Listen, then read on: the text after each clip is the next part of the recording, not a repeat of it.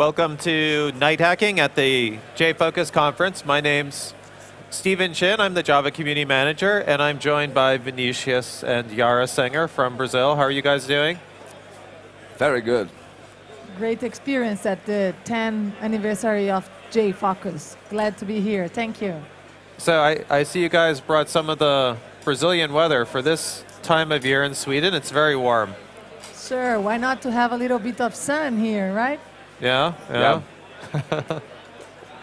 so you guys, you guys have been working on IoT stuff for a while. Um, I remember you always have a big, a big bag of devices and interesting toys with you whenever you go. That's true. The first project we did was for home automation. You remember 2011? We did the J Home automation. Yeah, yeah. And once we, we did that project, we start looking that we would like to do more than home automation. And we start talking about things automation before uh, coming the Internet of Things wave. So um, we were kind of lucky to be, to be in that spot at that time. And uh, actually we started with kind of embedded and IoT using the old and gold Sunspot device. So Oh yeah, yeah. The sunspots were awesome. awesome. So, But it's interesting to see the trends the, and how Internet of Things is growing and, uh, and w- what's the size of the market it will achieve in the next years. So in 2011, we would never imagine that it would be so big. It was lots of passion, lots of interesting things to do, but uh, we would never imagine it would be so big. Yeah, no, I mean the number of devices and companies jumping on and building big data infrastructure to support the data coming from those devices and the whole um, kind of change in the industry is amazing. Yeah, the people ask uh, that many companies are looking for uh, Internet of Things opportunities, but actually Internet of Things is already uh, happening all around the world. If you look uh, in Brazil, we have many farms and they monitor, and it's not this year, many years they are monitoring the, the, the counts uh, using the internet infrastructure, using Zigbees. Uh, if you look at the machine-to-machine computing, Yeah. the payment system is a kind of Internet of Things that already happened. So Internet of Things is, is happening all around the world. You don't need to look for opportunities. Actually, the opportunities is everywhere. Yeah, that makes sense. So, what what do you guys have over over here? Am I jumping ahead? Yeah, so uh, this is the IoT surfboard. Let me let me put that up on the big screen. Okay, Yeah, there we go. IoT surfboard. IoT surfboard. This is a, a device, aggregator device that we can use to explore the Internet of Things without the need of soldering, using breadboard. So it's very nice for uh, developers that never had any kind of contact with electronic stuff. And uh, so it's a very fast way to start playing with uh, Internet of Things. We have many sensors. Uh, we have uh, different types of actuators. Yeah. Okay. So this this looks like a lot of fun. So, this at the end here is this a potentiometer? Potentiometer. We have a ZigBee connector, Wi-Fi connector, Bluetooth. Yeah. Here's the ZigBee. That's ZigBee. ZigBee and Wi-Fi, right? You have a and new Wi-Fi, You module. can choose between ZigBee, Wi-Fi, or Bluetooth. So we have many different types of combinations. And then this is a relay, A relay. so you can hook up like um, appliances or different things to power them. That's true. turn we, them on and off. We have transistors for doing robotics or driving motors or even driving a step motor is possible here. So you can prototype like 3D printing uh, machines using this And then board. is is this guy a infrared sensor on here? infrared sensor Infrared is very useful for home automation because infrared is everywhere. If you, if you want to show here, we have an image that shows Oh, oh. everything. I'm, I'm looking at the little tiny board and nobody can see it. That was rude of me. Okay. How Yes. about, boop, there we go. Here we go. So uh, here we have the temperature sensor, humidity sensor. We have the potentiometer. We have the gas sensor here. We used to play a lot with alcohol sensor. so with this board, you can make like a breathalyzer, connect to the cloud, and if it detected that someone drink, it can tweet or something. Um, More, more likely, you like tweet your. I, I reached 0.09. I, That's true, like a, a beer competition or Yeah. something. And we have the real-time clock. Real-time clock is very important. Uh, we, we planned this board in the way that you can integrate the IoT surfboard with other boards like Raspberry Pi, Intel Edison, Beagle Bone Black, and IoT surfboard is very low energy consumption, but you cannot take a picture using this board because it's, it's very uh, low power of processor. But IoT surfboard can be integrated with Raspberry Pi, and like you can schedule the IoT surfboard to, to turn on any other device, more powerful device like Raspberry Pi, take the picture and then turn off. So you can make a really good smart energy system uh, using this how nice much, combination. How much power does the IoT surfboard draw by itself? Uh, like if you are not using alcohol sensor because it consumes a lot, it will be around like a 100 milliamps or less, Yeah, even yeah, less. yeah. So very little. Very low, very low, very low. You can run on USB cable easy. Yeah, I mean USB gives 500, so Five, that's 500, yeah, yeah. It's Yeah. enough. Even for for the alcohol sensor, you can drive using the, the, the USB. So 100 is when you are really doing something inside uh, IoT surfboard. got it. But one thing we have learned, this is the second board we have uh, developed into production. And uh, when we developed our first board, there was no Raspberry Pi. There was no that, that many boards with Linux and all that. So when we designed this new board, our, our first learning point was we don't know the future, even the near future. What Yeah. will be in the market in the next two months? What will be in the market in the next one month?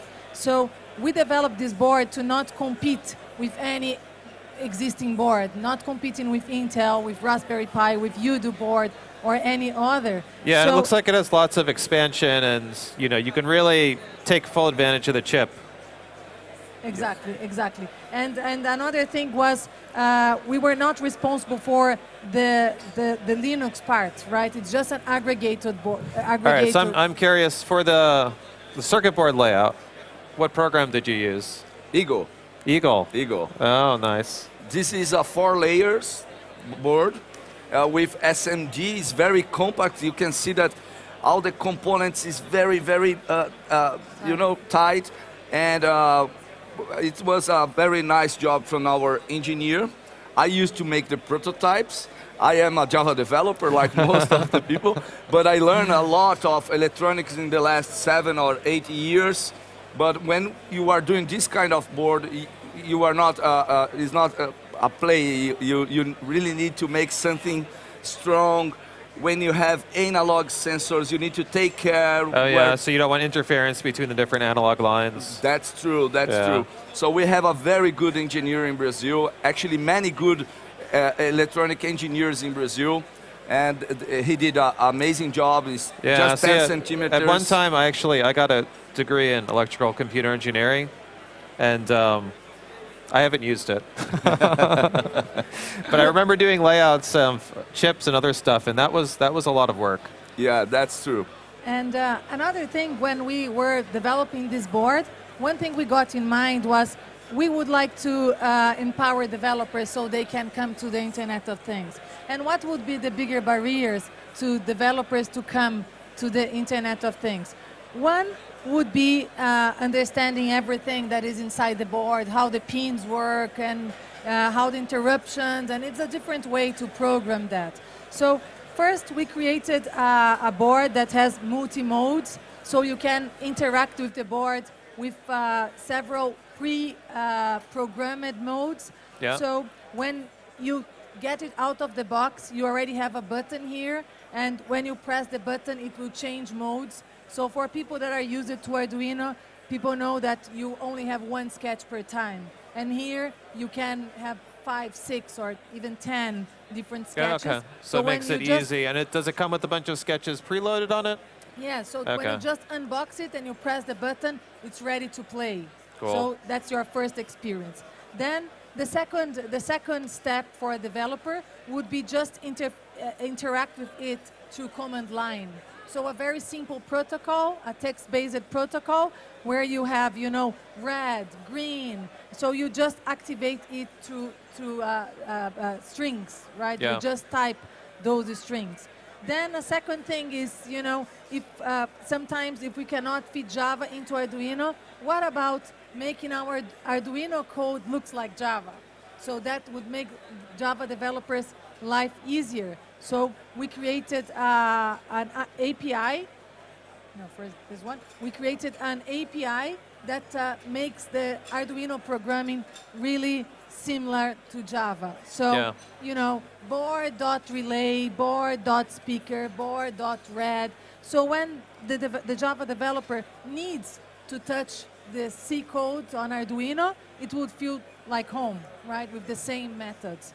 And, uh, and third, and finally, Home Sweet Home, how do you have your Java API to access all the surfboard s- functionalities? So the same API we have for Arduino, we have implemented on the Java layer. Okay. So you get your board, you connect to Serial, and then you start playing with all the sensors. If a regular developer just gets his, his code and circuits and start to using a sensor, how it is, how it is, what's the serial protocol and all that. So very simple uh, Java API to make developers to push their things to the cloud, to MQTT or, or all technologies without uh, hiding a little bit the complexity Yeah. of uh, There's the alcohol sensor. You can print out how drunk you yeah, are. yeah, yeah, yeah, that's true.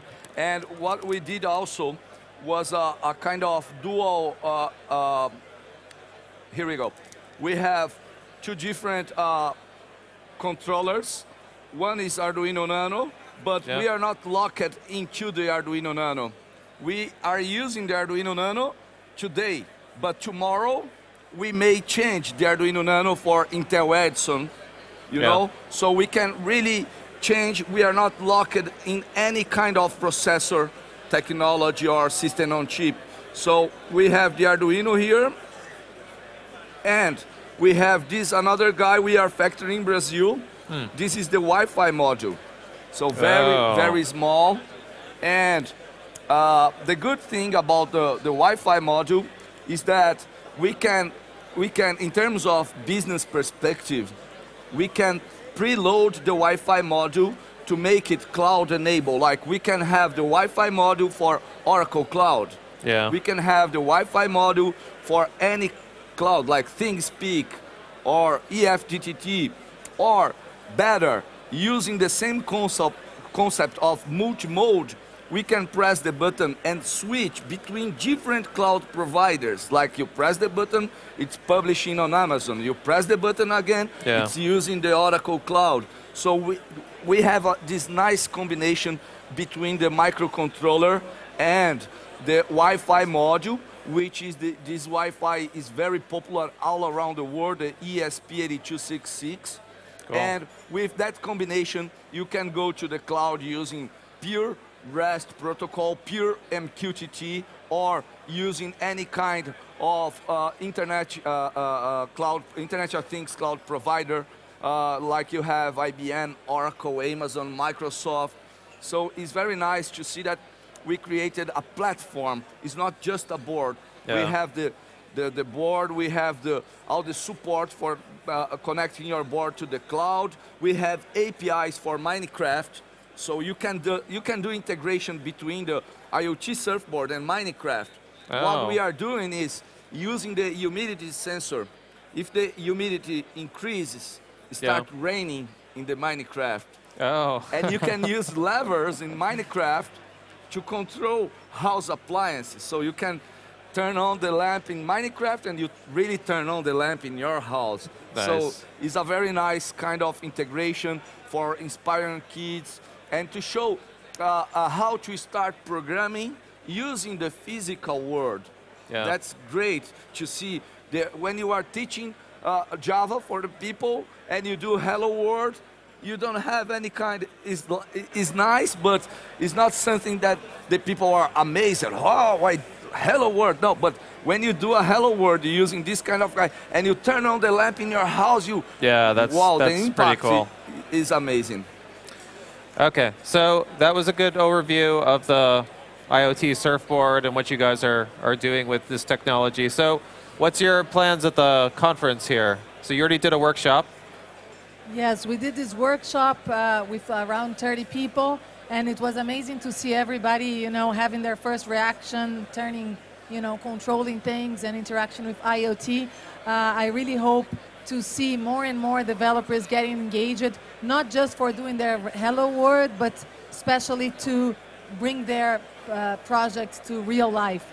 And uh, tomorrow morning, just after the party, yeah. we have our talk 9 a.m. showing lots of. Uh, uh, That's a good, a good, a good opportunity to use maybe, the alcohol sensor. maybe some people will still be here from the party, not quite kicked out the door yet, and they can come and you know. Yeah, that's true. But uh, tomorrow we'll be focusing more on using uh, advanced components like cameras and voice recognition, text to speech, and more human interaction with the Internet of Things. Sometimes we focus more on M2M, on machine yeah, to machine, yeah. and tomorrow we'll be focusing more on the human interaction with this cool project and alternate ways, not just by typing, but uh, by hanging, by uh, smiling, turning on a lamp with your smile. Yeah, yeah, facial recognition. Face recognition. We That'd are using cool. Intel RealSense uh, with uh, uh, application using MQTT. Yeah. So we connect the camera and your uh, face recognition, and we send MQTT messages to our gateway running on IoT surfboard. So you can use your face uh, expression to control the things in your house. Cool. And uh, we have we, we have see we, we see each day more examples of real world IoT projects. Some of them with marketing purposes, getting awards and all that. So like the Tweet P Deepers that uh, tweets when uh, the, the, the, the humidity level enhances, but also lots of projects associated to agriculture, to Healthcare. healthcare, and we have more and more components available for people to create their own Yeah. Yara's grandfather, Yeah. he is working on a, a, a called a brain care. Is a, a Intracran- uh, intracranial uh, pressure measurement. So how to measure the pressure inside the brain for people that has microcephalia or any other, you know, an, a car accident Hydrocele- and uh, and uh, things like that. So you know, it's uh, in a non-invasive way. That's a very hard thing Yeah, to do. yeah. And he, he, he, he designed a device.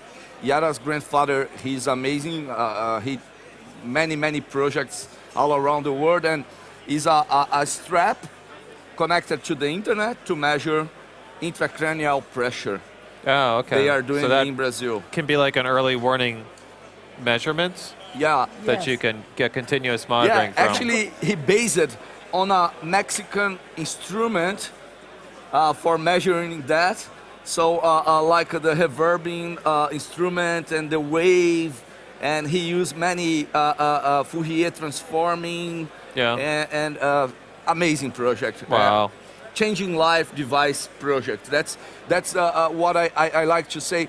I like to call this kind of project as changing life device, devices that will make our life better. Cool. All right. Well, thank you guys Thank you, Steve. very Thank much you. for Thank joining me on stage at the Jfokus you. conference for interviews. Okay. thank you. Thank you. Um, you can join us at the next break. I believe it's 1:50 when we're going to have our next interview. And I hope you watch the rest of the um, streams at nighthacking.com. So thank you guys. Ooh.